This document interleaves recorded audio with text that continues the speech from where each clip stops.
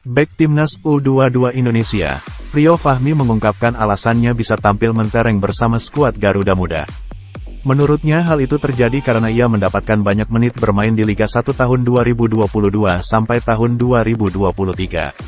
Seperti diketahui, Rio Fahmi berhasil mencatatkan dua assist dalam laga perdana Timnas U22 Indonesia di grup ASI Games 2023.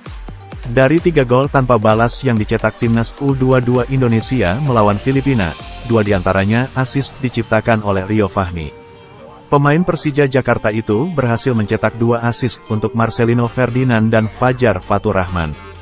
Catatan itu tentu saja membuat Rio Fahmi mendapat banyak perhatian dari pecinta sepak bola Indonesia. Sebab tak hanya bagus dalam memberikan umpan saja, Pemain berusia 21 tahun itu memang tampil cukup impresif bersama skuad Garuda Muda di laga perdana melawan Filipina.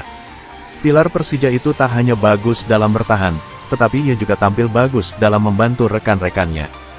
Dua asis tentu saja bisa menjadi bukti bagaimana Rio Fahmi juga membantu timnas U22 Indonesia dalam membangun serangan. Meski begitu, bek kanan timnas U22 Indonesia itu mengaku tak ingin berpuas diri. Menurutnya, ia bisa mencetak dua assist juga atas bantuan dari rekan-rekannya. Ia menilai semua pemain bekerja keras untuk memberikan hasil terbaik, begitu juga dengannya. Rio mengaku siap bekerja keras dan memberi support kepada pemain lain dengan memberikan umpan-umpan bagus tentunya. Alhamdulillah semua berkat kerja keras tim dan saya bisa memberikan dan support teman-teman juga, ujar Rio Fahmi kepada awak media di Kamboja. Lebih lanjut, terkait penampilannya yang kian mentereng bersama timnas U22 Indonesia. Rio Fahmi mengungkapkan bahwa ia tak akan bisa tampil bagus di SEA Games tanpa pengalaman. Back timnas U22 Indonesia, Rio Fahmi mengungkapkan alasannya bisa tampil mentereng bersama skuad Garuda Muda. Menurutnya hal itu terjadi karena ia mendapatkan banyak menit bermain di Liga 1 tahun 2022 sampai tahun 2023. Seperti diketahui, Rio Fahmi berhasil mencatatkan dua asis dalam laga perdana timnas U22 Indonesia di grup ASI Games 2023. Dari tiga gol tanpa balas yang dicetak timnas U22 Indonesia melawan Filipina, dua di antaranya asis diciptakan oleh Rio Fahmi. Pemain Persija Jakarta itu berhasil mencetak dua asis untuk Marcelino Ferdinand dan Fajar Fatur Rahman.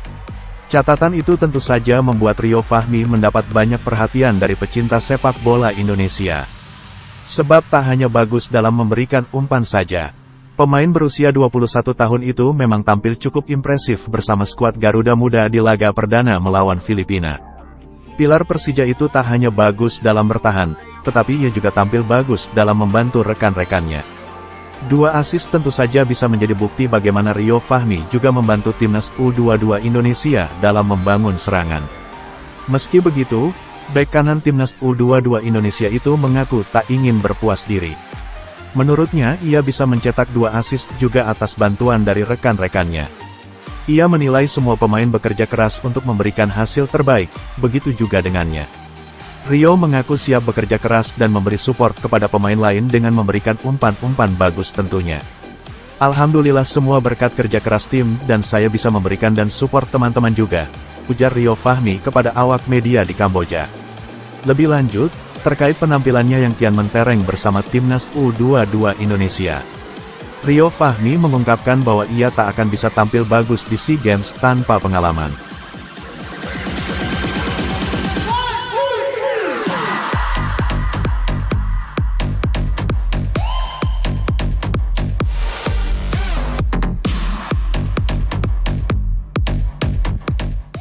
Terima kasih sudah nonton. Jangan lupa like, subscribe, dan share ya.